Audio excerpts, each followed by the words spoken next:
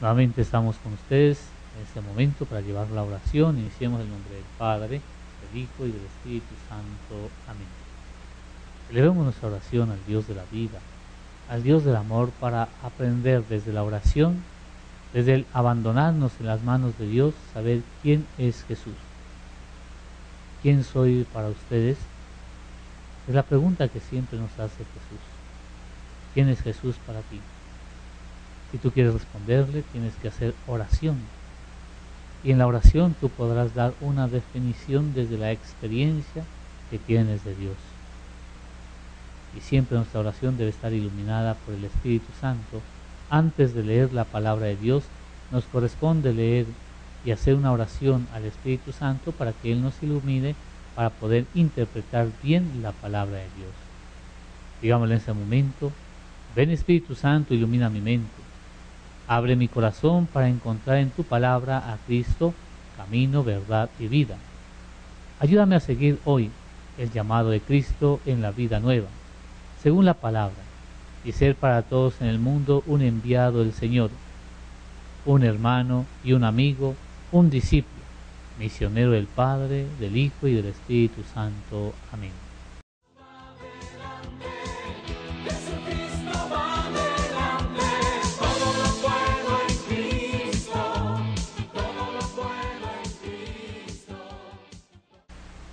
Este momento quiero invitarte para que escuchemos el Evangelio de Mateo 16, 13, 23. Nos dice la palabra de Dios. En aquel tiempo, al llegar a la región de Cesarea de Filipo, Jesús preguntó a sus discípulos, ¿quién dice la gente que es el Hijo del Hombre? Ellos contestaron, unos que Juan Bautista, otros que Elías, otros que Jeremías o uno de los profetas. Él les preguntó, ¿y ustedes ¿quién dice que soy yo? Simón Pedro tomó la palabra y dijo, Tú eres el Mesías, el Hijo de Dios vivo. Jesús le respondió, Dichoso tú, Simón, hijo de Jonás, porque eso no te lo ha revelado nadie de carne y hueso, sino mi Padre que está en el cielo. Ahora yo te digo, tú eres Pedro y sobre esta piedra edificaré mi iglesia, y el poder del infierno no la derrotará. Te daré las llaves del reino de los cielos lo que ates en la tierra quedará atado en el cielo, y lo que desates en la tierra quedará desatado en el cielo. Y les mandó a los discípulos que no le dijesen a nadie que él era el Mesías. Desde entonces empezó Jesús a explicar a sus discípulos que tenía que ir a Jerusalén y padecer allí mucho por parte de los ancianos, sumos sacerdotes y escribas, y que tenía que ser ejecutado y resucitar al tercer día. Pedro se lo llevó aparte y se puso a increparlo. No lo permita Dios, Señor, eso no puede pasar. Jesús se volvió y le dijo a Pedro, quítate de mi vista, Satanás, que me haces tropezar. Tú piensas como los hombres, no como Dios. Palabra del Señor.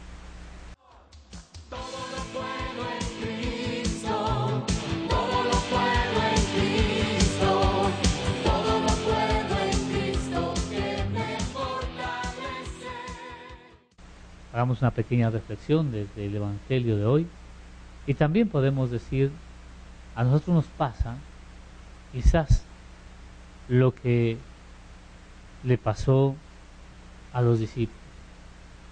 Jesús nos pregunta hoy, ¿quién dicen que soy?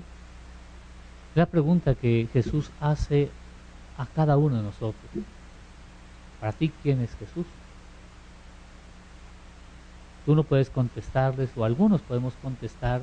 Algunos dicen que eres esto. Algunos podemos contestar, los libros dicen esto. El Internet dice esto. Las redes sociales dicen esto. Pero Jesús no pregunta, ¿quién dice la gente que soy yo? Sino lo más importante es, ¿quién soy yo para ustedes? Lo que más le importa a Jesús es la respuesta que sale desde tu corazón, desde la experiencia que tienes de Dios. Y por eso nosotros debemos tener una docilidad al amor, una docilidad al proyecto de Dios, que Dios haga su voluntad. Él es quien nos guía, quien nos ilumina para poder hacer un proyecto bien. entre más te acercas a Dios, tus respuestas van a ser más grandes. Cuando yo no conozco mecánica, yo puedo decir un carro. Un carro. Ah, bueno, un carro. Quizás yo puedo decir que tiene, algunos carros tienen cuatro, cuatro puertas, que tienen cuatro llantas. Bueno, algo así nomás. Pero si yo soy mecánico, yo le conozco todas las partes al carro. Conozco que hay una bujía, conozco que hay un, un arranque, conozco que hay un freno, que hay un embrague, que hay un acelerador, que hay frenos de mano, bueno, que hay unos carros que tienen cuarta. Eh, yo conozco cada parte del carro, conozco más. Pero en la medida en que yo voy acercándome a el conocimiento de un carro, nosotros también, la vida del cristiano, entre más conozcamos a Dios, sabemos más de sus maravillas, sabemos más de sus bendiciones, sabemos más de sus protecciones, sabemos más de su amor. Hoy te invito para que tú y yo nos acerquemos más a Dios y poder, poder dar una mejor respuesta. Gloria al Padre, al Hijo y al Espíritu Santo. En ese momento quiero invitarte para que le demos nuestra oración a Dios y digamos, Señor, haz que mi fe sea fuerte, que no tema las contrariedades de los problemas, sino que me reafirme en la prueba íntima de tu verdad. Concédeme un corazón que aprenda a amar y escuchar tus palabras. Concédeme el valor de confesar tu nombre de Mesías e Hijo de Dios a todas las personas.